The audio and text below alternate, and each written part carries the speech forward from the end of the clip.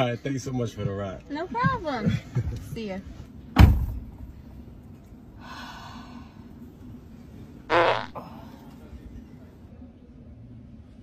Uh, I was just getting my book back.